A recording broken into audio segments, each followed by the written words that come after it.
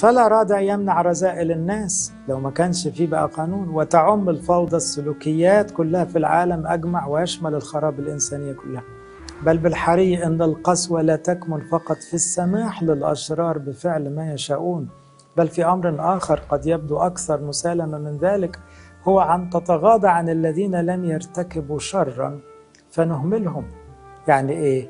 ما هو كده هيبقى في طرف مظلوم على طول المفتري هيفضل يفتري لأن مفيش حاجة بتوقفه فأنت زودت شر الشرير وزودت الظلم على المظلوم يبقى كده فعلا لو ربنا ما عملش أي قوانين يبقى هو نفسه شرير أو ظالم عكس التهمة اللي جاية على ربنا أخبروني أنتم هل نحشد كل أشرار العالم من جميع ربوع الأرض ونسلحهم بالسيوف؟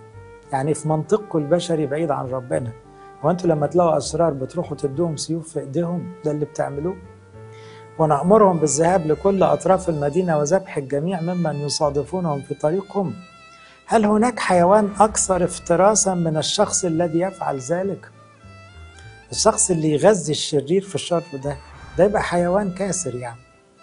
لكن لو كان يوجد من يقيد في حزم شديد ويضبط أولئك المسلحين ويكبل أيديهم بالجنازير لأصبح هذا التصرف في منتهى الإنسانية لأنه ردع الشر تحجيم الشر يمشي مع الرحمة مش مع القسوة. أريدكم الآن تطبيق تلك الأمثلة على الناموس وبنفس القدر الذي أوصى عين بعين قد أثار فينا الخوف. كقيد قوي صارم يكبل نفوس الأشرار الأرضياء وهو يشبه الذي يلقي بالقتل في السجن. بينما الأبرياء من كل عقاب يسلحهم بالأمان.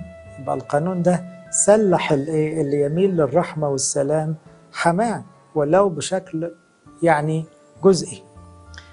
فيقوم بدور من يجردهم من السيوف التي في أيديهم حتى لا يفتكوا بكل من في المدينة. أرأيتم أن الوصايا بمنأى عن القسوة بل هي بالحري تفيد الرحمة. كنتم على هذا الأساس تدعون المشرع قاسيا يصعب التعامل معه.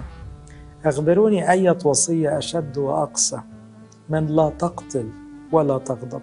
فين القسوة لما بيقول ما تقتلش وما تغضبش؟ فين القسوة؟ ومن يكون أكثر تطرفا ذلك الذي ينفذ العقوبة بسبب القتل أم بسبب غضب؟ يعني شوفوا رحمة ربنا مش عاوزة حتى ريحة الغضب ريحة الخطية. فبترقى بينا عشان ما يبقاش فيه التجاوزات البشعة اللي شايفينها في العالم. ويطلع ربنا برضو شرير.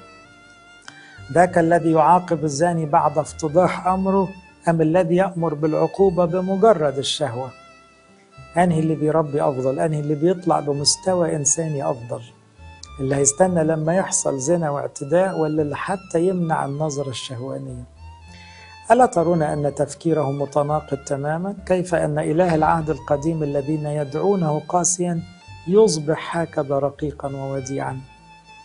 وأن إله العهد الجديد الذين يقرون بصلاحه يصبح صعبا ومتشددا يعني إيه بيقول لهم؟ إيه على فكرة أنتوا مش فاهمين حاجة غالبا لأنه ده العقوبات اللي قايلها المسيح في الموعظة على الجبل تبدو أقصى من أي عقوبة جت في العهد القديم. لما يكون اللي هيبص بصة هيتحسب زاني ويهلك واللي هيقول كلمة يا أحمق يستوجب جهنم ده مستوى العقوبة هنا أعلى من العهد القديم.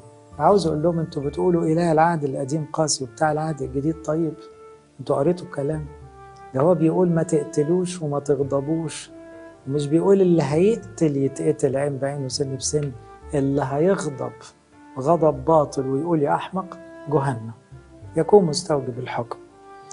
إذا لو عاوزين تحكموا بقى قولوا المسيح هو اللي ظالم هو اللي شرير. لو أنتوا واخدينها بالموازين.